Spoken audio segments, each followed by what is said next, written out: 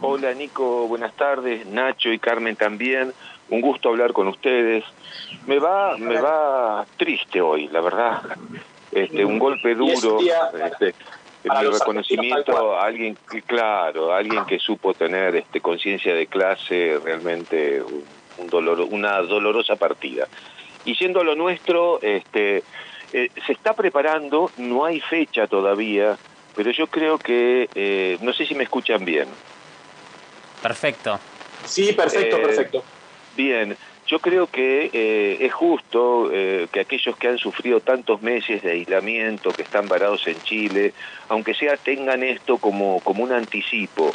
Este, la iniciativa del embajador eh, argentino en, Santiago de Chile, Rafael Bielsa, se ha puesto en marcha un, un operativo grande para cubrir el regreso de 1.300 varados argentinos y chilenos con residencia en la Argentina, que se haría en las próximas semanas. No puedo adelantarles la fecha exacta porque todavía se está trabajando en eso.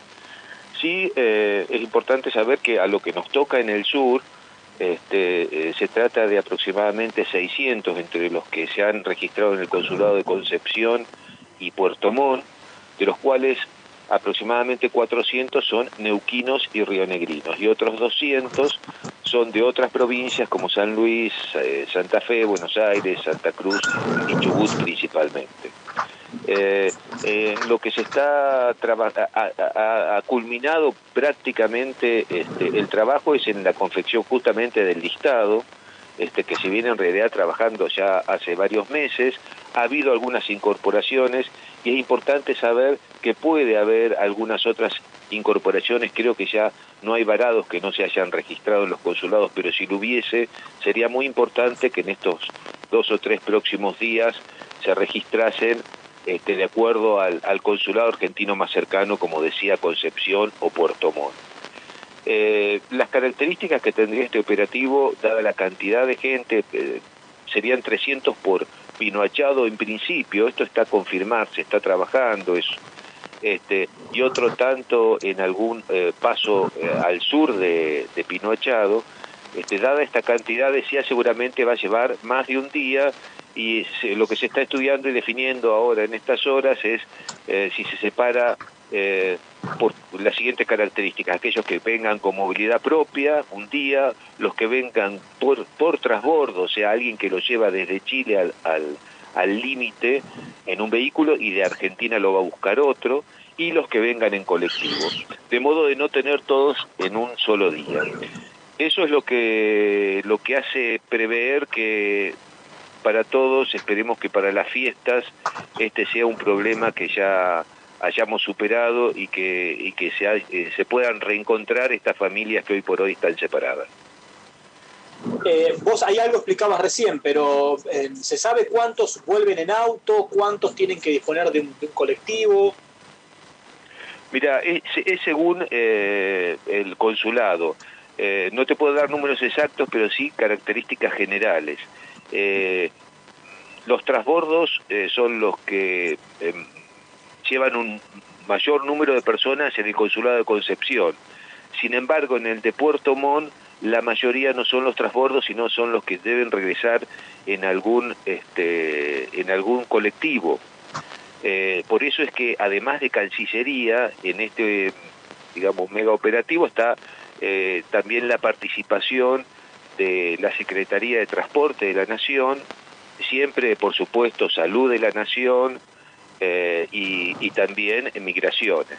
Aparte de eso, eh, lo último que se está trabajando es la conformidad de las provincias, no únicamente la conformidad de la provincia de Neuquén, que para decir verdad ya había dado este, para los rionegrinos que finalmente no se pudo hacer el último operativo su conformidad para, para que pasen por el paso pinochado, sino también la conformidad de Río Negro y de todas las provincias receptoras. Este, yo siempre recuerdo que migraciones y, desde Nación en general tratamos siempre con la este, con la conformidad de, la, de las provincias, que según el momento eh, que cada una en forma particular esté atravesando la pandemia, este, hace que den la conformidad o no. Últimamente todos sabemos que en el hemisferio sur, gracias a, que estamos frente a la temporada estival, la cantidad, como era de prever, la cantidad de casos ha bajado.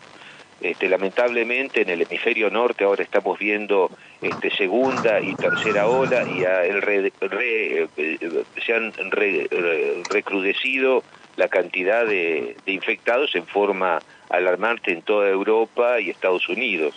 Nosotros por eso creemos que las cosas las hemos hecho en, en, Argentina eh, muy bien sosteniendo un bajo nivel de contagio en, la peor época, el, principio de invierno, otoño y principio de invierno, y ahora eh, seguramente va a bajar y esto va a ser este, prever que las conformidades de las provincias este, sean fáciles de conseguir. En eso estamos en esta semana. ¿Cuándo va a ser eh, el operativo? Todavía no está definido este, pero lo que sí les puedo adelantar es que ya, eh, se está este, viendo todos los este, todos los eh, artífices que participan en esto están eh, están colaborando y están aunando fuerzas y terminando de definir los pasos y yo creo que en las próximas semanas, yo no me animo a decir una, dos o tres semanas, ya vamos a tener novedades de la fecha concreta. Gustavo, ¿qué tal? Ignacio te saluda. Te quería, te quería consultar, recién te escuchaba hablar del registro en el consulado para aquellos que aún continúan varados, ¿no? ¿Cuál es el, el, trámite que tienen que hacer?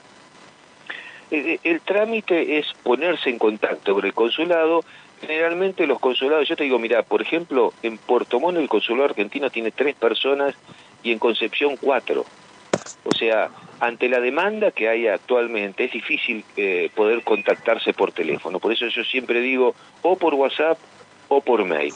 Ponerse contacto quiere decir poner los datos y las características de la persona o personas que están varadas allá para que se para, para que puedan ser registradas para verificar este eh, si hay algún inconveniente, por ejemplo, eh, de orden migratorio que impida su salida cuando se produzca el operativo, eh, recordemos que los argentinos que están en Chile, hay muchos de ellos que eh, a los cuales ya les han transcurrido los 90 días de la visa que tiene cuando ingresa como turista, y después de esos 90 días, si no la han renovado, están en infracción, deben pagar una multa, y Chile no los deja salir, sino.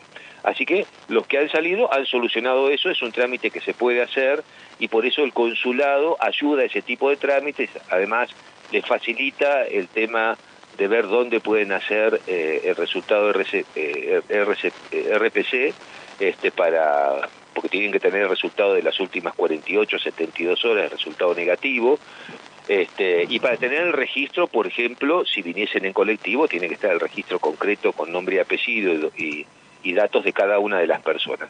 Por eso, para las personas concretamente que estén varadas en Chile, todo comienza a través del consulado. Yo por ahí me explayo en otros entes que, que además del consulado, o sea, Cancillería, trabajan, pero para la gente lo importante es anotarse. La gente lo fue entendiendo al principio, eh, los primeros tres meses había 200 registrados. Cuando empezaron a ver que cientos y cientos en cada operativo pasaban, ya recordemos que van más de 600, 700 personas que han sido repatriadas de acá en la provincia de Neuquén, a través de los pasos de la provincia de Neuquén, este, la gente empezó a comprender que había que este, anotarse en los consulados. Quizás haya, yo creo que casi todos están anotados, pero si hay alguno que no esté anotado, es importante que lo haga en los próximos días para poder aprovechar esta oportunidad de este próximo operativo.